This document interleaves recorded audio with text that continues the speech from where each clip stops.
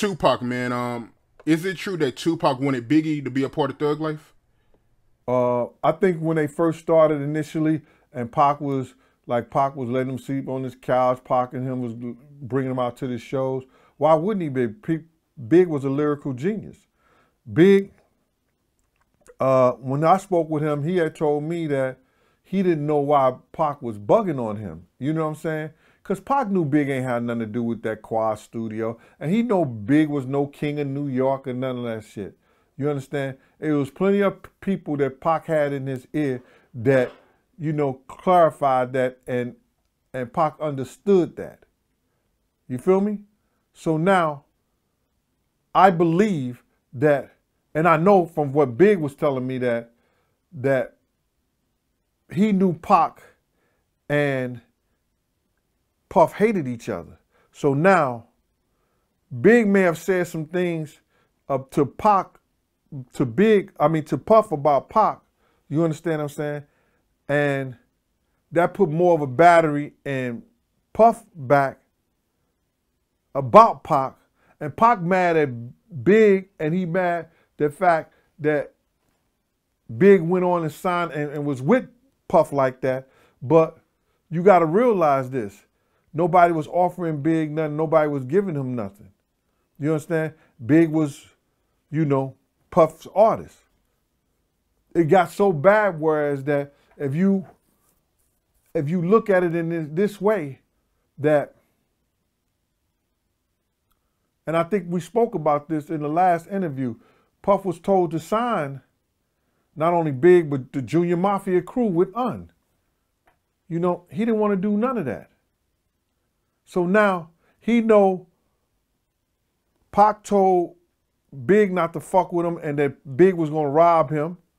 But Big said, told me, verbatim, I can't be mad at Diddy, uh, Puffy at the time.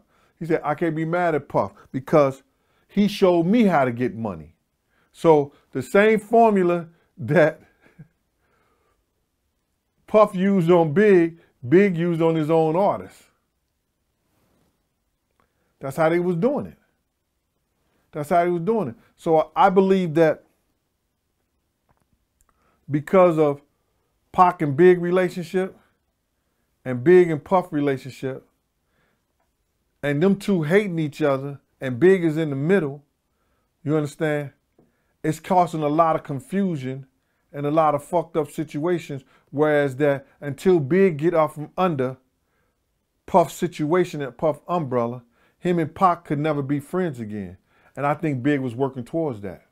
Because I think he was working towards being friends with Pac again. Right. So Tupac warned Biggie not to sign with Bad Boy and that Puffy would rob him, and Biggie went back and told Puffy that.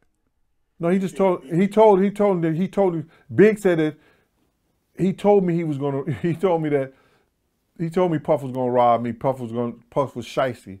But Big also said that his management team at that time didn't know what the fuck they was doing. So after Tupac was killed, Biggie and Puffy, they was in LA and Puffy, he did the Steve Harvey show with Snoop.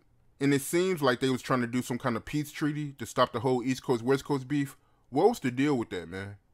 Well, I don't know who our dealer was, but I know for a fact, ain't no way at that point in time Snoop could uh, say there's going to be a truce between West Coast.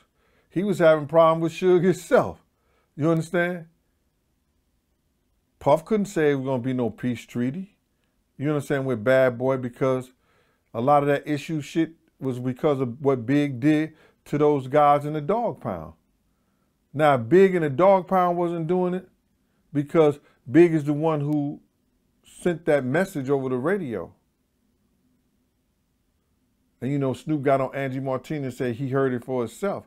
But Snoop wasn't even there.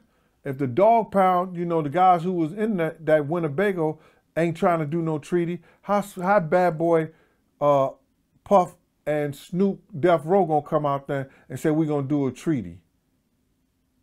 How they gonna speak for those guys?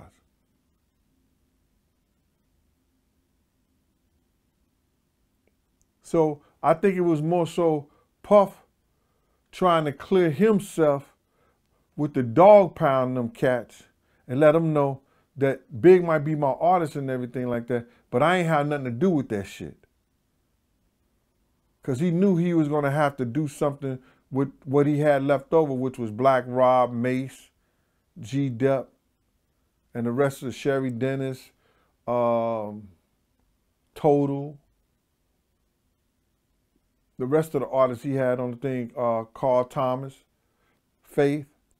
He knew that he still was going to have to travel and be around, and he didn't want no other beefs with no other labels or no other crews, especially things that he felt like he didn't make.